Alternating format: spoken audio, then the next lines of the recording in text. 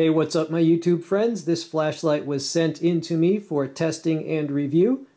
The maximum lumens, 3000. The maximum beam distance, 250 meters. This comes with a recharging cable, a lanyard, and a spare O-ring. It also comes with a belt holster, has a strap there, and Velcro. Here is a closer look at the light. It has texture here for grip, baffles here to dissipate heat. It's got an orange peel reflector, right? It also has crenellations there. It has a two-way quickly removable pocket clip and it has lanyard slots there. Right? It can tail stand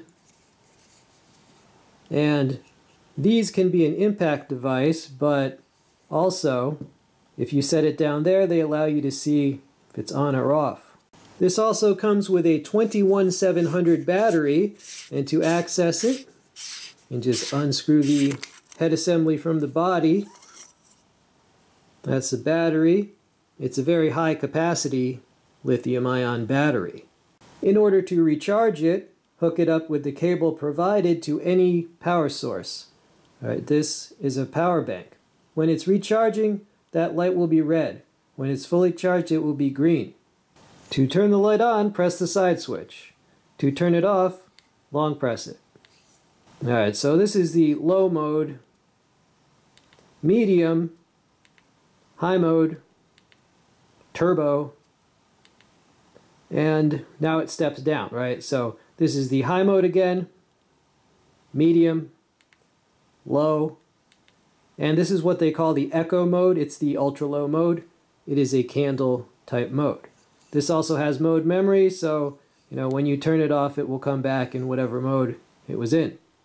Now a double tap will shortcut to strobe and another double tap will be SOS. Alright, warning, we're going to flash. That's strobe and that's SOS. Now to check the voltage, press this three times from off and it will blink the voltage. Turn off some studio lights so you can see that better. One, two, three. One, two, three, four, and one red. So, the voltage is 4.1 volts. In order to lock the flashlight, you press this until it flickers, right? So it is going to flicker or flash after a while. Hold on.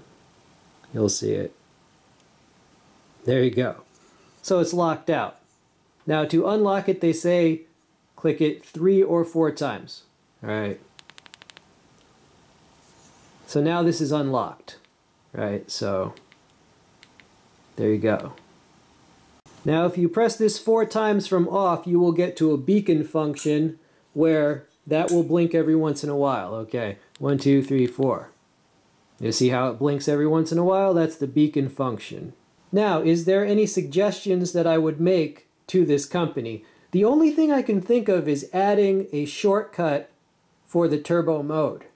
Okay, YouTube, we're out on the old testing board with the EA25. Let's go through the brightness levels.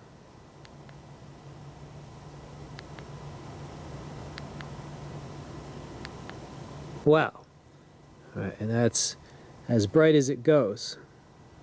Yeah, that's that's impressively impressively bright for a single battery light. Hey, what's up YouTube? We're at the road of no street lights with the EA25. Alright, so what can we see? Wow. Alright, lights up the whole road. So, if you broke down on a country road that has no streetlights, this is what you would see.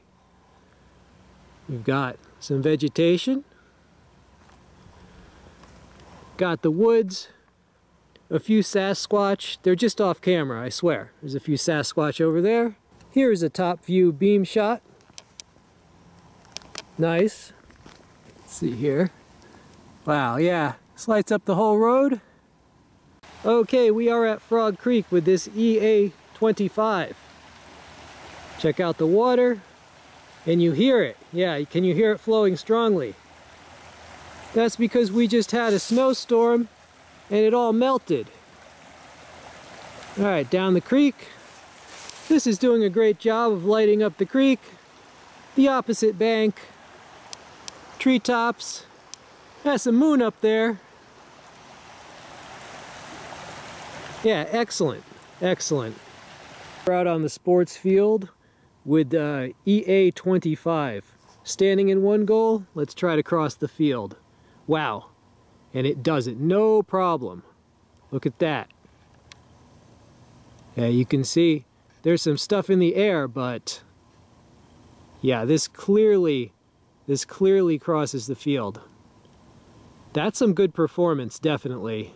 For a single battery light, 3000 lumens is quite bright. In fact, I remember years ago that that was not even possible years ago, and now, well, here we are. Overall, this would make a very nice everyday carry or every night carry light.